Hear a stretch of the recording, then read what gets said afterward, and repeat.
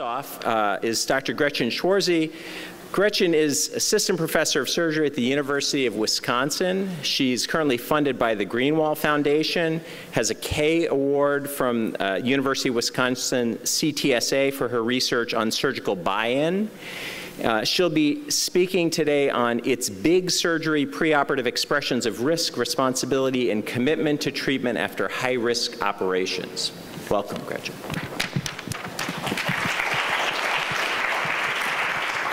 Thanks, Peter. Um, I'm, I'm, sure you're as overwhelmed as I am about all the other talks today. They were just so fantastic, and I'm really honored to be invited and to be part of this. I was saying to Peter before this started, um, I'm pretty sure this is my block time at the MacLean Center because I'm always in the last session on Saturday.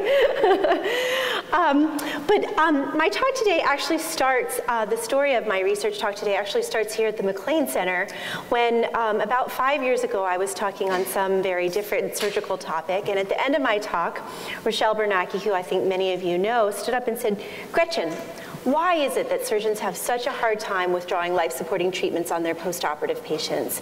Is it just because they're so worried about their mortality statistics, or is there something else to it?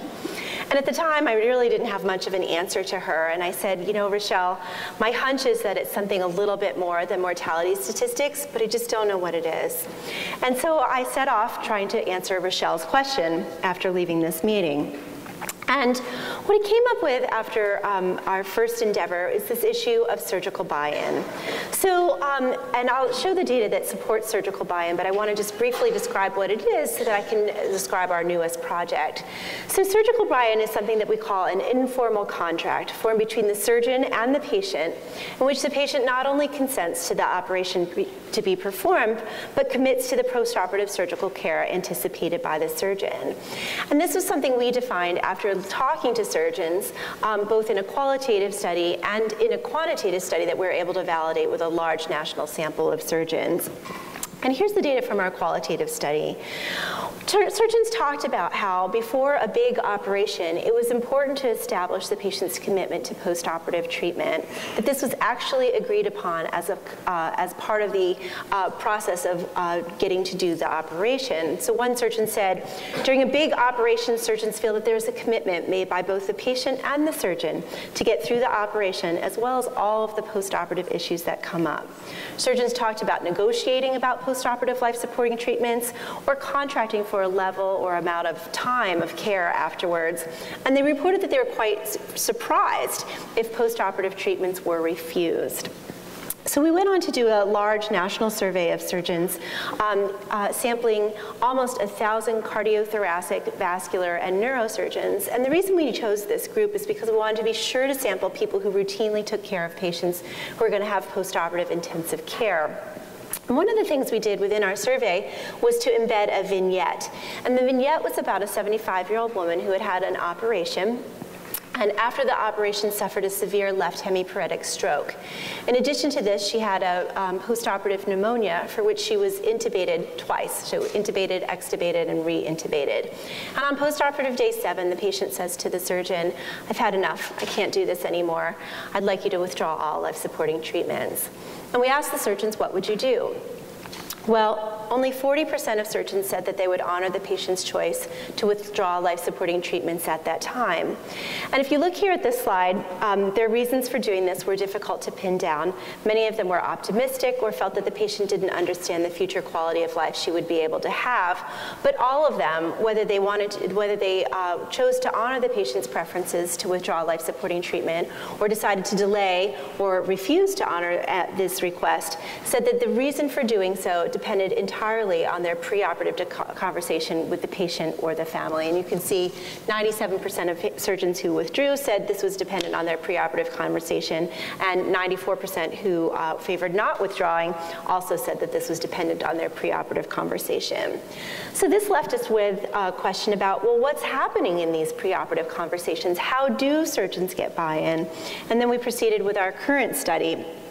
And the objective of this current study was to assess whether surgeons ask patients to buy in to postoperative life-supporting treatments in the preoperative setting.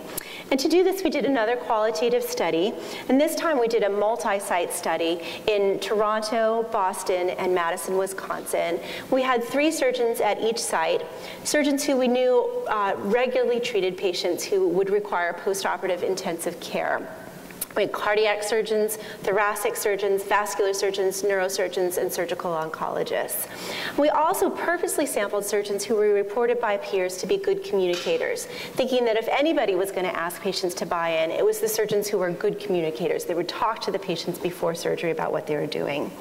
Um, we recorded between three to seven conversations per surgeon, and our coders had extensive, uh, extensive experience with uh, postoperative ICU uh, patients, including a postoperative operative critical care nurse uh, and uh, a medicine uh, resident who is going into critical care. And we used inductive content analysis. So, what do surgeons say to patients prior to high risk operations? Oh, sorry, just this is our, the patient cohort that we ended up with. Uh, we had a very nice smattering of ages and a fairly good diversity of uh, uh, education level, likely socioeconomic status as well. So what do surgeons say? Well, they say it's big surgery. Say it's a reality. This is what they say to patients. It is a reality when you have big surgery. This is inherently dangerous business, and my job is to make it turn out right. That's what we do. But it's still dangerous to go through it, just so you understand that. And we found this again and again as surgeons were talking to patients before very high risk operations, that they would explicitly talk about how dangerous the operation is and use the words big surgery. And if they didn't use the words big surgery, they used analogs of the world of the word, saying things like it's not small surgery, it's not day surgery, it's a really big deal, or this is heart surgery. You can see as we went through our transcripts, we tried to sort of uh, peel out the meaning of what big surgery was. So one thing that they were saying when they were talking about big surgery was that the surgery hurts, that it would be uncomfortable or it would be difficult for the patients to go through. Big surgery also meant that surgery had risk. Now, as one heart surgeon say, what can go wrong? Well, lots can go wrong. This is heart surgery or that the operation was technically difficult. And as the surgeon says, well, we have to make an abdominal incision, then we make incisions in each groin, and then we clean those arteries out, and sometimes we have to bring the graft down and actually go into the groin and do a bypass. It's a pretty big operation to go through. And finally, the other meaning we saw was that the patient may experience a profound change in their quality of life after surgery. One surgery said, that's, surgeon said, that's just forgetting about the whole patient who's maybe older and their lifestyle, what they're capable of doing, what the danger dangers are, the time to recover from surgery, like it's a big, big decision. Surgeons also uh, discussed informed consent, but this was actually in a separate part of the conversation. It was more towards the end of the conversation after deliberation about surgery had occurred, and this is fairly typical of how informed consent went down. The big risks that we worry about surgery, it may sound terrible, you know, heart attack, stroke, bleeding, infection, death, kidney trouble. Risks were typically listed, and the complications were named but not described. Surgeons also talked about the routine use of postoperative life supporting treatments, but they talked about them in a very uh, regular, routine way. As one surgeon said, you're in the ICU for a day or two afterwards, usually a couple of days. Many times we let you stay on the ventilator overnight so we can wake you up gradually, and it's not too stressful. Then that evening or the next morning, we take the breathing tube out of your throat. So they were preparing patients for a routine postoperative course, but did not mention what would happen if it was a, complicated postoperative course or if the patient required prolonged aggressive life-supporting treatments. So did surgeons ask patients to buy in? Well, my answer to that is sort of. Um, in one case, we did see a surgeon explicitly asking a patient to buy in, and what he said was, if we decide we go to be, we're going to be there, then you and I have sort of a verbal contract, and we're going to do everything that we can to have the outcome that we want. So if we're going to go forward with that, then we have an understanding that everybody is going to do their utmost. And this was the most explicit buy-in that we saw. We saw a few examples of implicit buy-in where the surgeon said, if you need to be here longer, you're here longer. Or sometimes it's a war and you have to fight the battles to win the war, so you have to be prepared for that on some levels. But most of what we saw was an assumed buy-in, that the patient agreed to move forward and that this uh, was part of their understanding that risks could occur and that uh, surgery was a package deal. And this um, sounds a little um, flippant, but in fact what this surgeon is saying is a little bit more complicated than the quote here. So she says, this is a form that basically says we've gone over the risks and that you agree to go forward. It's not a contract by any means. You can always just not show up. But what she really means is that once you've shown up, then you're committed. So what do the patients say? Well, in fact, uh, you might imagine, and probably this is uh, maybe a surprise more so to me, the surgeon, than to many of you, but most of these conversations, in fact, all of these conversations were dominated by the surgeon. 75% of the time the surgeon uh, was talking, and only about 25% of the time uh, was the patient talking. There was some variability in there, but really these were very much surgeon-dominated conversations. So how did the surgeons or the patients react? This is pretty typical of what we saw. This is a wonderful neurosurgeon who is fantastic with his patients and says very um, clearly, this is an area for vision, smell, function of leg and, legs and bladder. You could even have a stroke or damage to the vision. You could have an infection or trouble with healing. And then he says, in a perfect way, what questions do you have for me? And the patient comes in and says, well, washing my hair. And the doctor very politely responds to her question and explains her how to use the baby shampoo. And he says, don't scrub the stitches. And the family pipes in with, are you going to use stitches or staples? And so here you have a pretty classic um, description of what we saw. A very intense conversation about the burdens of treatment, the potential complications, and the response of the patient or the family coming in with logistic or technical concerns, and very limited discussion about what would we do if something went wrong. So did we see patient buy-in? And again, a little is what I might uh, uh, conclude here. So these are the levels of patient buy-in that we saw. We saw some explicit acknowledgement that the surgeon could do whatever is necessary around the time of the surgery. You do what you have to do, I have complete faith in you, or you're the boss. We did see some general recognition that death or other complications would be somehow tolerated.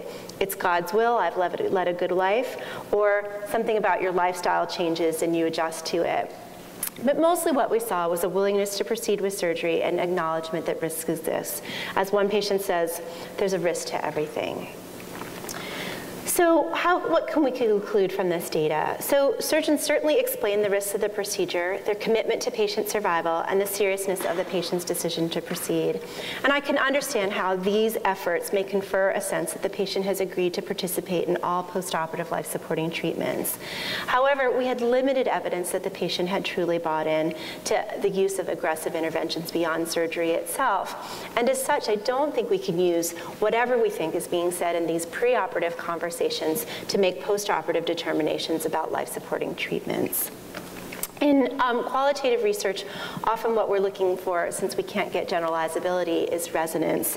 And after we sort of pulled our issues of big surgery together, one of my uh, research colleagues uh, was listening to uh, Mike and Mike on the radio. It's an ESPN sports show. And um, what we heard uh, was about um, uh, RG3, who is the quarterback for uh, the um, Washington Redskins.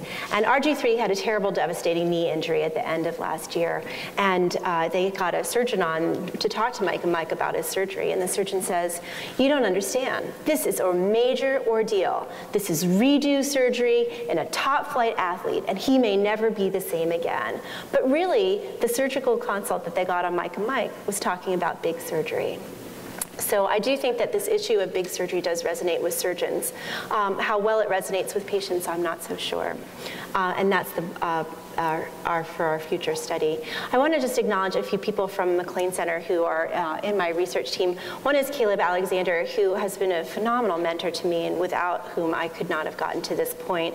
And the second person is Martin McKneally, who um, obviously supplied all of the patients in Toronto and has been a really fantastic research collaborator. So thank you very much for letting me present. Thank you. Um, great paper. Um, I, am wondering if you're being explicit enough, you, you and, and the, the, your surgical colleagues. Um, the first time I ever saw uh, the, the buy-in situation was in 1973. Uh, I took a patient out to the Hutch in, in, at Seattle, Washington for a bone marrow transplant. And the Hutch was the only place in the world in 1973 under Don Thomas uh, doing bone marrow transplants. And they simply made a deal with the patient at the outset that they would ignore what the patient said for the first 45 days. if the patient wanted a bone marrow transplant in the only place in the world that was doing them. I mean, that, that it wasn't a signed contract, but it was that sort of agreement that we're going to go all out, and you may not be in, in the situation to make good decisions for yourself. But that was an explicit question and answer. I'm wondering if you're beating around the bush with some of these big surgery and so on. Yeah, I mean, so I think the question is, are the surgeons beating around the bush? And my answer is, yeah, I think that they are to some degree. And, um, you know, people, when I present this, ask me to sort of say, well, what should we be saying? And right now, I really think I can just be descriptive and not particularly proscriptive. I do think that um, patients are often very afraid before surgery and sort of throwing down their throat what it would be like if a major complication occurred would be difficult. I think the other piece of it is that, you know, know, we are actually interviewing patients now before their big operations and interviewing them after surgery, and so we don't have enough data to say what needs to be said uh, or what could be said or what their decisional needs are before surgery. Um, so it's still sort of, you know, up in the air about what patients need. I think it's really important for surgeons to understand that even though they think they've had this conversation, they probably haven't, and that's sort of where I am right now. Karen. Hi, Karen Devon, University of Toronto. I'm a surgeon there. Um, great research. I'm wondering if perhaps it might inform a case that someone called me about uh, a week ago.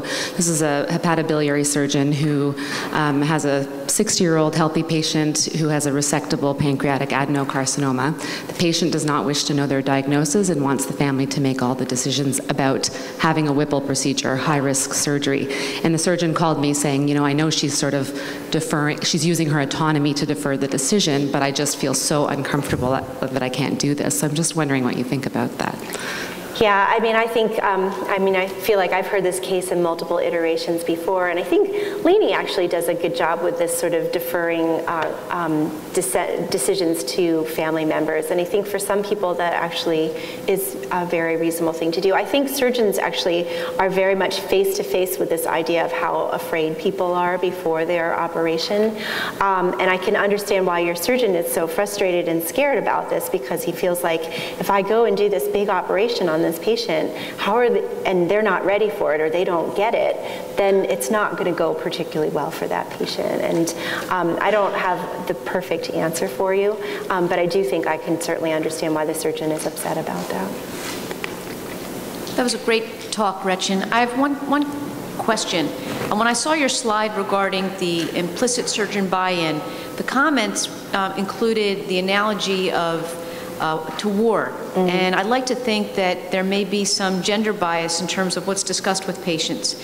Um, I, would like to think that with more and more women going into surgery, we're getting away from the war analogies with battles and action heroes um, being the surgeons. Was there any dip, was, was, there a difference in terms of men versus women surgeons? Yeah, so I mean, it's a great question. Um, you know, we did this large national survey of vascular surgeons, cardiothoracic surgeons, and vascular and neurosurgeons, three groups, um, and 95% of our respondents were male. And um, so while I think that maybe things will change over time, by and large, surgeons who do very high risk procedures are still male. Thanks. Yeah. We see a lot of war metaphors, a lot. Gretchen, that was great.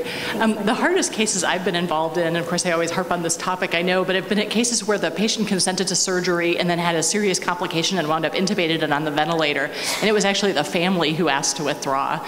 Um, and I wonder about the challenge of the fact that the family may or may not be there for the pre-op consent process and yet later may be horrified at the course of treatment or want to stop before the surgeon does. Yeah, I mean, I think that's a great uh, question. I would say, Lexi, at least in our group, we had a lot of family members present. I would say um, uh, at least in two thirds, maybe a little bit more than that. And we've even had them present for our preoperative interviews. So, fortunately, at least in a, the elective setting, I, I don't know how elective you can call this, but at least in the outpatient clinical setting, it does, for these patients, it does seem that they often come with a family member. And so the family member is actually not necessarily participating in this discussion, but certainly certainly has heard it. It's a great question. Thanks, Gretchen. That was great.